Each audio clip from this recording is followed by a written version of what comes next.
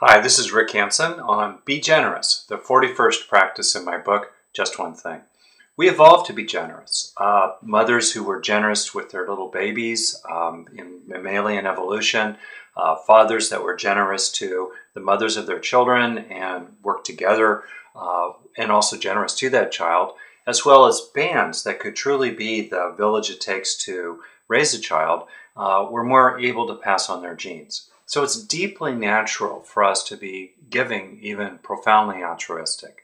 Um, on the other hand, in our modern culture, sometimes it can seem that generosity is always about writing a check to some charity or something or other. Not that there's anything wrong with that, I write my own checks, but most forms of generosity are not monetized. They're intangible, uh, or they're tangible in non monetary forms. So to be generous and to sit more into that fundamental economy of generosity that we swim in? Well, I have a couple of suggestions. One is to notice how generous you're already being and let the satisfaction from that and the good feeling of that really, really sink in.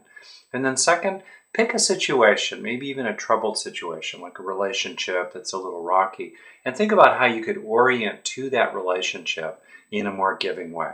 I suspect that it will be very rewarding and there will be good results if you do that.